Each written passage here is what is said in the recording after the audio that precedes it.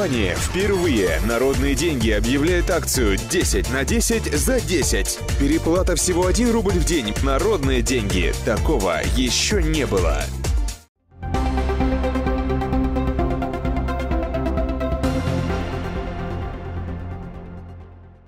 На протяжении нескольких лет о низком качестве обслуживания на маршрутах городского общественного транспорта, отсутствии культуры вождения говорили в своих многочисленных обращениях на имя руководства города Кызылчане. Вопрос организации пассажироперевозок, в частности в Кызыле, поднимал и глава Тувы во время своего послания Верховному Хуралу в декабре прошлого года. Так, муниципальными властями этот год был объявлен годом пассажироперевозок. В связи с этим Олег Ужугет, известный как автор Тувинской Википедии, разработал новую программу «Тыва-такси». В начале весны мы задумались насчет э, пассажироперевозок.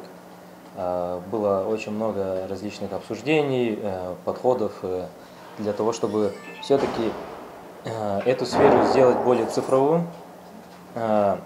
Здесь предлагается следующее, следующее решение.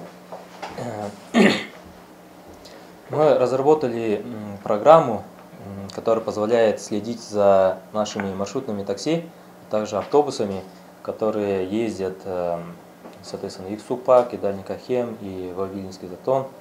А, и удалось получить э, определенные данные, а, определенные данные со слеж... с координатами э, соответствующих э, маршрутных такси.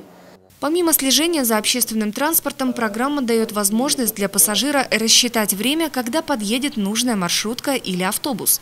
Как едет сейчас маршрут 1А, ну, именно вот, вот здесь, эта машина едет, и у нее скорость 18 км в час. Соответственно, это может быть полезно и для а, простых граждан, которые хотят э, понять, сейчас выходить или чуть позже. А также полезно и для тех э, общественников, которые хотят следить за ну, порядком ну, на дороге. Может случиться, что э, в программе мы учтем, допустим, если скорость да, превышает на этом участке требования, может быть, там, закрасить, а может быть, это специально для мэрии отдельную программу сделаем, чтобы в их целях было, э, решались какие-то задачи. Сегодня в городе ежедневно на 27 маршрутах выходит около 400 пассажирских автобусов. Из них более 340 «Газелей» и 33 автобуса марки «ПАС». Однако на данный момент в программу внесен не весь общественный транспорт. Можно увидеть, например, э, маршруты в фильтре. Здесь, например, э, маршрут 1А, да, можно отдельно выделить. У нас получается здесь три три транспорта. Ну, красный это означает, что он сейчас статично стоит и ни, никуда не собирается. Здесь почему три? А, на данный момент в программе 177 маршрутных такси вбито. Э, и мы надеемся, что со стороны мэрии э, и со стороны э, частных перевозчиков наконец-то все эти формальности, а также требования федерального закона о пассажироперевозках будут реализованы. И тогда мы здесь увидим не три маршрута, а на карте увидим все. А, поэтому а, я лично очень надеюсь на то, чтобы эта а, ситуация была, ну, была уже разрешена в ближайшее время. По словам разработчика, программа уже к концу этого года будет доступна для общего пользования. Эта программа будет полезна для всех нас. Соответственно, естественно, мы сделаем и мобильное приложение, Э, все это будет бесплатно. Э, я изначально дал слово, что это будет все бесплатно. А также, э, если нужно, сделаем для самих водителей и бригадных бригадиров, может быть, удобный сервис. Все зависит от самих пассажироперевозчиков, а население будет только вам благодарно. Полностью разработанная программа будет полезна и для самих пассажироперевозчиков, так как приложение будет предусматривать выбор самого пассажира.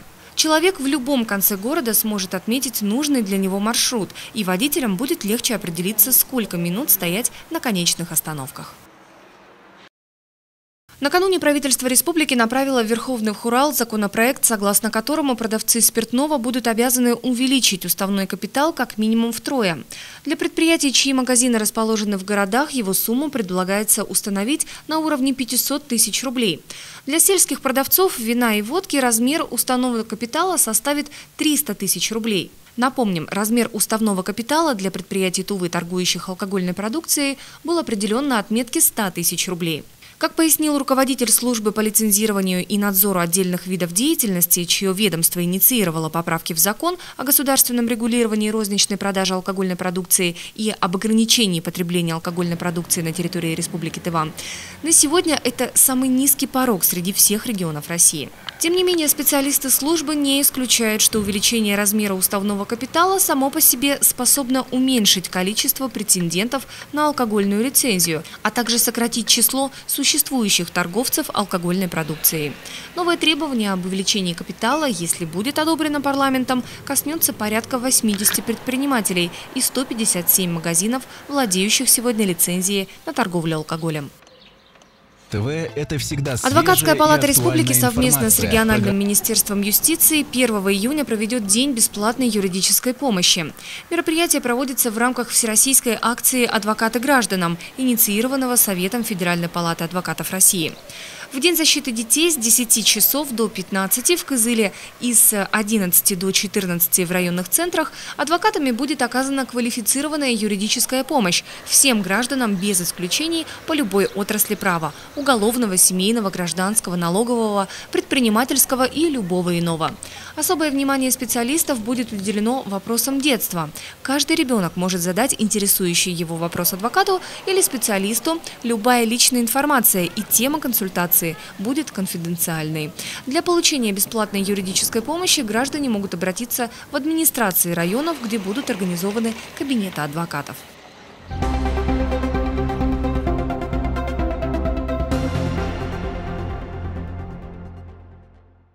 Кызыле проведены публичные слушания по исполнению бюджета региона за 2017 год. Дотационность Тувы за прошлый год снизилась на 2% и составила 74%. Собственных доходов по сравнению с 2016 годом поступило на 8% больше. Наибольший прирост в консолидированный бюджет составили налоги на прибыль организаций, налоги на доходы физических лиц и налог на имущество организаций. Помогло также и бюджетное администрирование. Снизилась недоимка по имущественному налогу. Собираемость данного вида налога в среднем по республике составила 85%. Эрзинский район сумел собрать 100%, отмечает министр финансов республики Орлан Достай. И о курсах валют. Доллар стоит 62 рубля 59 копеек, евро 72 рубля 52 копейки.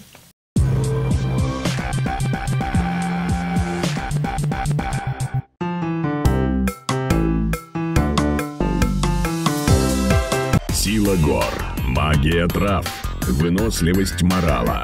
Теперь в одном флаконе. Новинка. Пантовый бальзам Субидей. С уникальным набором витаминов, коллагеном и экстрактами редких тувинских трав. Зарядись энергией. Травы Тувы. Чульдум 44. Напротив торгового дома Алексеевский.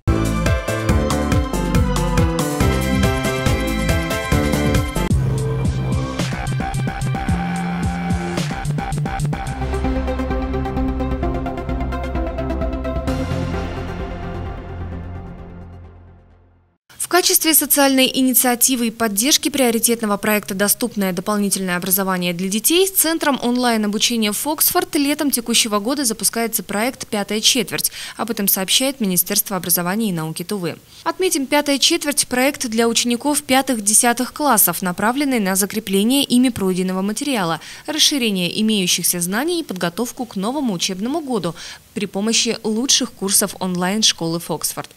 Участие в проекте бесплатно для регионов, учителей и учеников. Министерство образования и науки Тувы рекомендует образовательным организациям муниципальных образований принять активное участие в проекте для закрепления учащимися программ. Например, развитие эмоционального интеллекта, финансовой грамотности, программированию, а также пройденного материала, расширение имеющихся знаний, подготовку к новому учебному году при помощи лучших курсов онлайн-школы.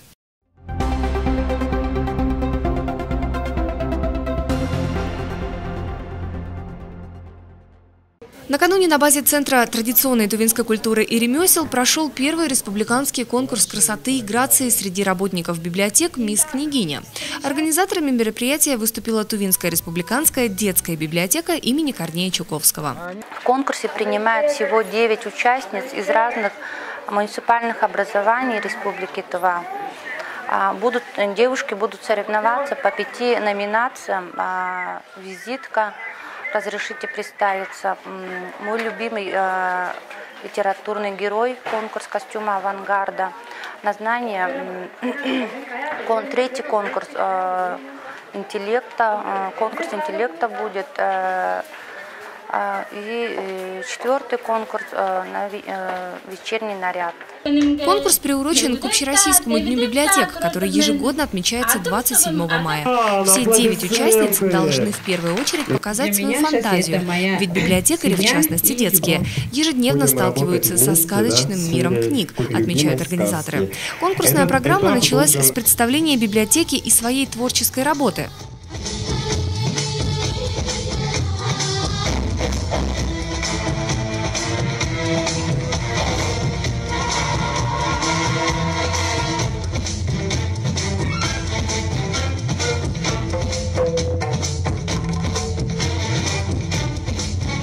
Конкурсную программу оценивало строгое жюри, в состав которого входили артисты Национального театра.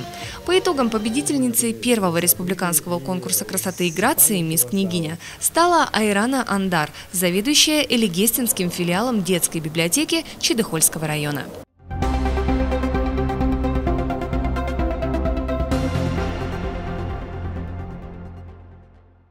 Надежно, просто и с высокой доходностью. В компании «Финанс Инвест» забота о клиенте – это основное кредо. Получить займ, сэкономив при этом время, приумножить свои сбережения – да, это здесь, в кредитно-потребительском кооперативе «Финанс Инвест». Начав свою деятельность с 2013 года и предоставляя большой перечень финансовых услуг от займов под залог жилья и нежилой недвижимости до приема сбережений с высоким уровнем доходности, компания вошла в пятерку лучших кооперативов России. Мало кто знает, но кредитно-потребительский кооператив вполне реальная и доступная альтернатива банковским вкладам и займам. Своего рода касса взаимопомощи, где сделки предельно прозрачны и надежны для пайщиков. Более того, клиенты сами могут выбрать, когда забрать проценты от сбережений. Сразу получать проценты ежемесячно или по окончанию срока. В отличие от банков, Финанс Инвест не извлекает выгоду из средств, которые вложили пайщики, а потому может предложить честные проценты. Основная задача кредитного кооператива – обеспечить более высокую степень финансовой свободы. Это достигается за счет упрощенной выдачи займов и принятия денежных средств под высокий процент без серьезных ограничений. Займы и сбережения пайщиков, доход от которых составляет до 13,5% годовых, застрахованы и, что важно, регулируются Центробанком. Клиенты могут вернуть свои деньги в любой момент. Наша компания – индивидуальный подход к каждому клиенту. Если нужен займ, мы не требуем подтверждения доходов, справок с работы, БТИ и не смотрим на вашу кредитную историю. Все удобно и просто. Мы работаем в соответствии с законодательством. В КПК «Финанс Инвест» вы можете оформить займ под материнский капитал на покупку или строительство жилья, даже если ребенку нет трех лет, а опытные юристы гарантируют качественное ведение сделки от начала и до конца. Займы сбережения пайщиков, доход от которых составляет до 13,5% годовых, застрахованы и, что важно, регулируются Центробанком. Клиенты могут вернуть свои деньги в любой момент. Кредитно-потребительский кооператив «Финанс Инвест» теперь и в Кызыле. Офис находится по адресу Кочетова 1 в здании гостиницы «Мангулек». Распоряжайтесь деньгами правильно –